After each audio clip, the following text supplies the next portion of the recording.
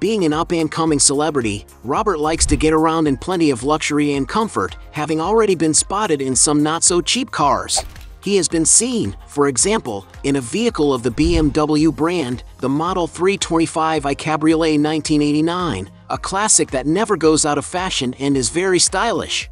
At the time, the car was valued at $21,000.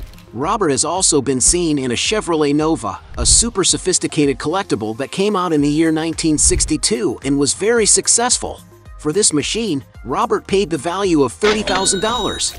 Another car Robert has been seen in is a Porsche Model 718 Boxster, a beautiful machine that has a 6-speed manual transmission or a 7-speed automatic transmission and reaches impressive speeds.